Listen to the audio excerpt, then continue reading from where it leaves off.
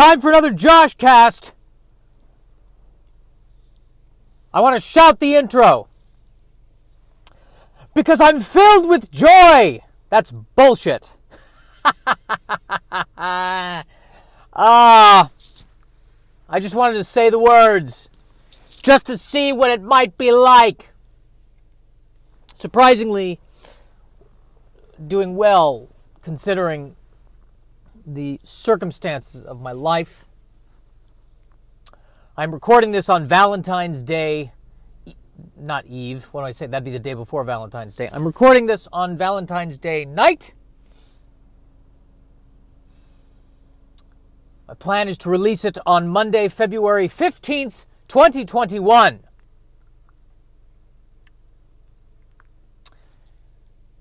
And uh, I probably I'm going to try holding the mic so that I don't uh, so it's not rubbing up against uh, my clothing, creating an annoying sound that has been on every other podcast I've recorded for the better part of four to five years. And maybe we can build our listenership here so that it is more than a couple of people in Spain. Not that there's anything wrong with people from Spain. That's not my intent. I wish there were more people from Spain who were listening. Perhaps then one day I would go to Spain and experience Spain, which is the name of their commercial. Experience Spain! And that's that's the end of the commercial. Just watching TV, watching Battlestar Galactica or whatever it is you're watching. And then out of the blue, there's just a guy standing in a room, not even outside. We don't even know if he's in Spain. Just standing in a room, staring at the camera, and he just says, Experience Spain! And I sit there and I think to myself, maybe he's onto something. I am also experimenting with not saying um. I listened back to one of these podcasts. Uh, I I just did it again. I could feel myself almost say um. I did it in one of these podcasts. I'm about to release a special, a stand-up comedy special that I recorded. Uh, God damn it! There it is again. Ah, ah, ah, ah, there. Ah, just get it out, Josh. Get them all out now. Uh, uh, uh, uh, uh, uh, uh. I recorded the special on Zoom. And I'm going to release it, probably self release it through Amazon. And I'm sure that uh, big name comedians, if they should stumble upon it, will watch it and go, I didn't need this. I didn't need this right now. This is not comedy. But hey, I think what what will I say about this special? Uh, uh there I did. Uh, ah, ah, ah, ah, ah, ah, ah. I'm so frustrated with myself. What will I say about this special? What I will say about this special is that its heart is in the right place. That's what I will say. Is it perfect? God, no. The title, I believe, is going to be Nerdy Virgin Live from the Laptop. I feel very strongly about that title. At any rate, I'm going to release it. I'll let you know when. It'll be on Amazon, probably. I'm working it out. But my life is in flux at the moment. My mom is still still in the hospital, probably about to go home. And the big question is is she going to recover and go back to how she was before? Or is this the beginning of a decline? Is, you know, if she gets healthier and she um, stops drinking, will she be mentally fit? Or will she be mentally fit, but are we also possibly seeing the beginnings of dementia? Which terrifies me for multiple reasons. Number one, her mother had Alzheimer's, her father had dementia, and if she has something now, I'm terrified that I'm going to get dementia or Alzheimer's or something when I'm that age.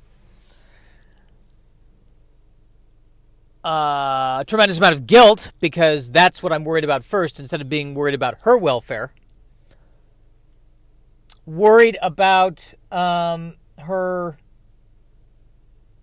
And worried about her.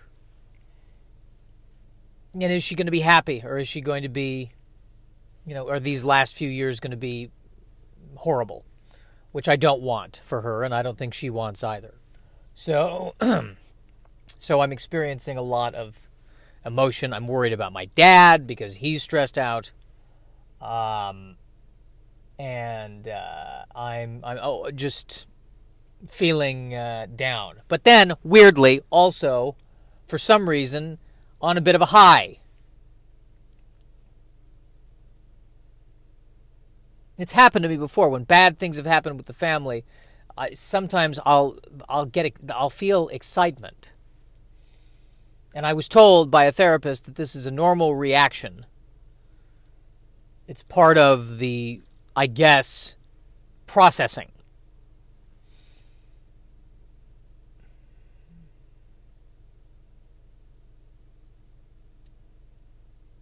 Well, now I've just bummed myself out, which is not the point of this podcast. This is supposed to be a comedy podcast.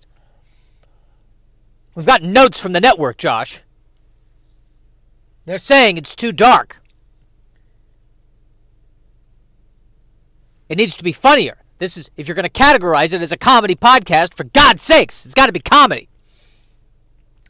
Though I have been writing jokes about all of this, and that has been the a release for me.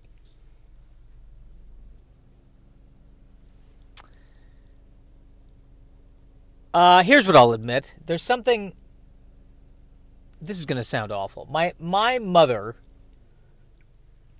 who has been a terrific mother uh, but is a very and when I was growing up a very dominating presence. And you know, there was a part of me I hate to. There's a part of me that because she and she's very very highly intelligent. She calls me out on my BS. Uh, and maybe there was a part of me that wants to win an argument.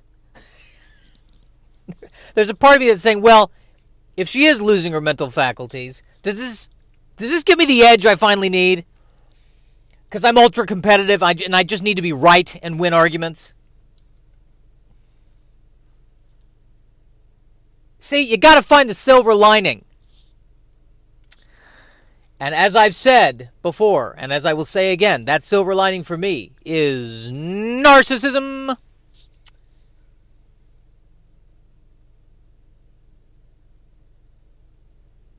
I did not eat Panda Express today, and for me, that's a win.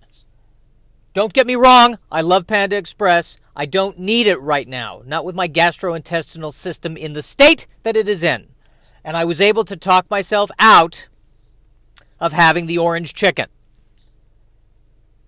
What is the orange chicken at Panda Express, you might ask? It's just a tub of sugar and a couple of pieces of chicken. That's essentially what it is. It's fantastic.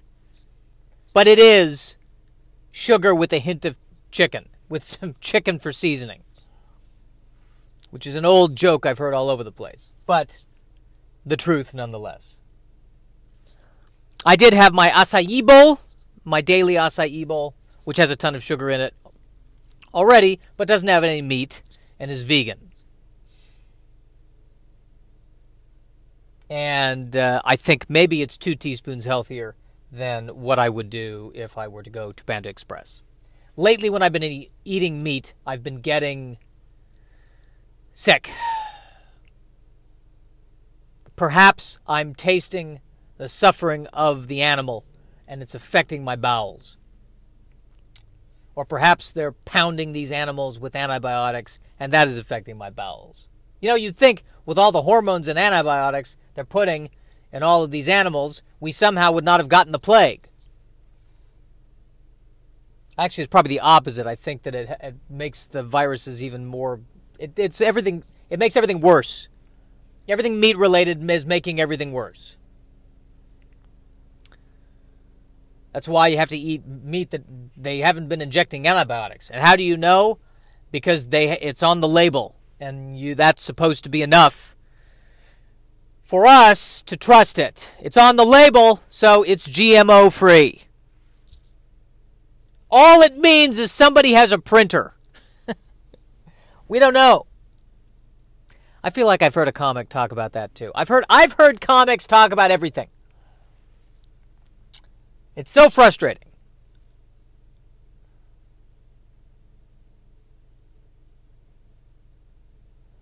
Dramatic pause. Pinter pause. Dramatic Pinter pause. That's what that was. Feeling better about not saying ums. I wasn't saying them as much. I'm feeling good about that. I know I've recorded another podcast where I've talked about that, but this is an opportunity for me to really focus on it. And I find when I focus on it, I'm much more emotionally connected to myself. You see that rage? Because I don't have um anymore, I can express my rage freely. So now I know when other people are talking to me and they're using a lot of ums, every single um is basically them saying, screw you!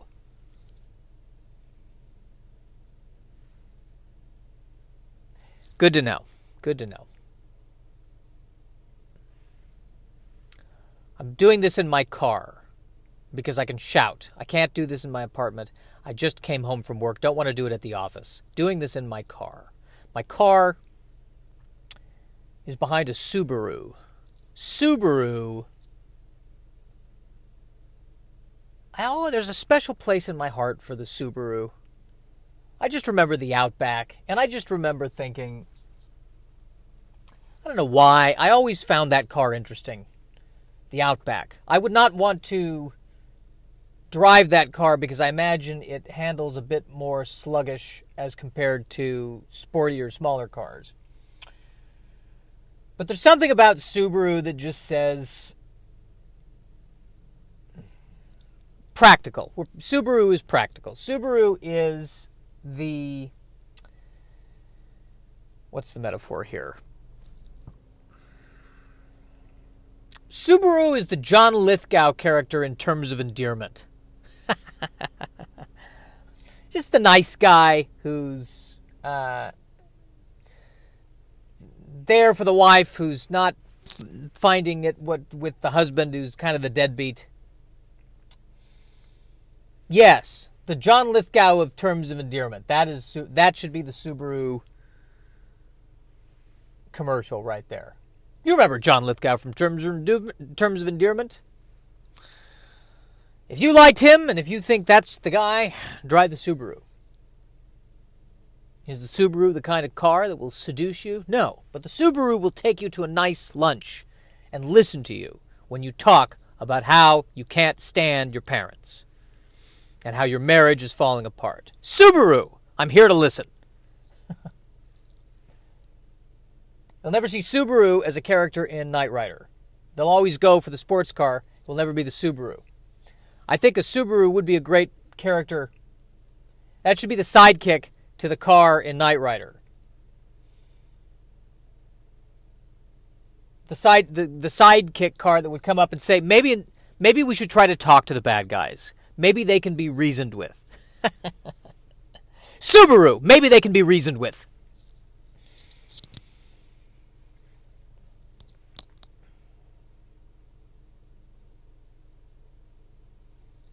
But that's maybe I'm thinking about these things because that's what I grew up with. I grew up in the suburbs and everything is boring but familiar.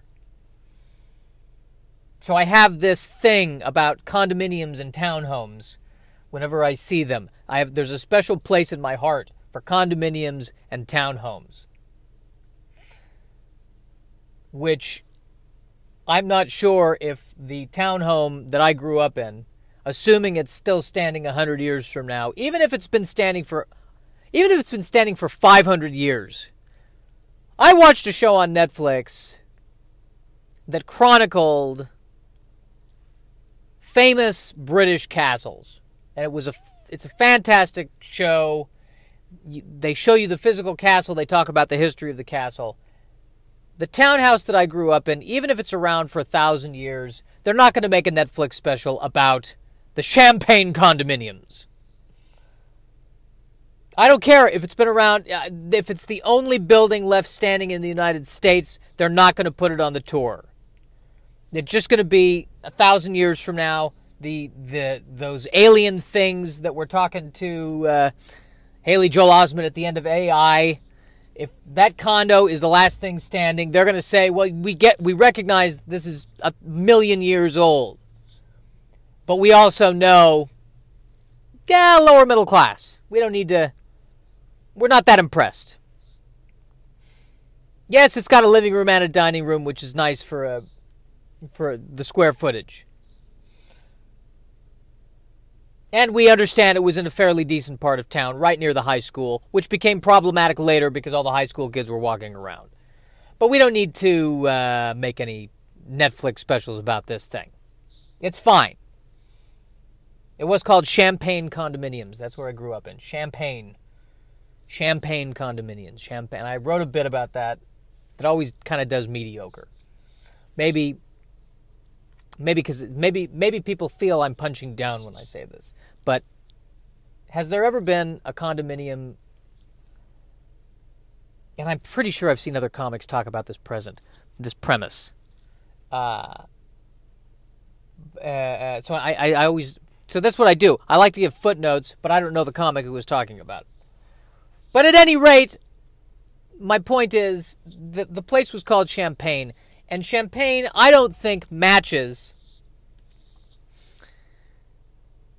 the, the, the beverage champagne does not match the experience of the champagne condominium. It's not the right drink. Champagne, you celebrate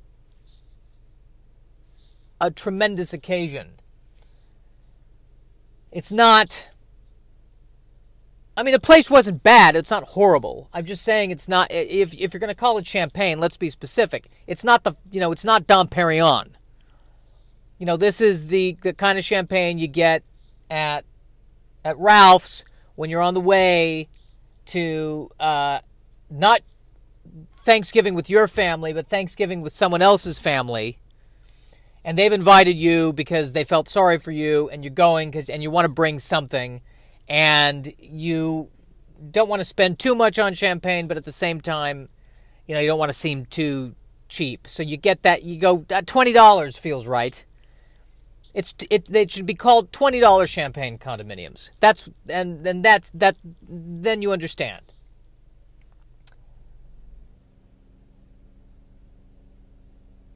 That would be more. That would be better. That would be a better name. They should be, they should make that clear what kind of champagne it is. As far as I'm concerned, I've been recording now for 18 minutes and 19 seconds. And I think I'm good. I try to do 20 minutes. This one will be a little less than that, but I don't like to outstay my welcome. I'm feeling good about this. This was good. I'm feeling good about this. All right, we'll talk.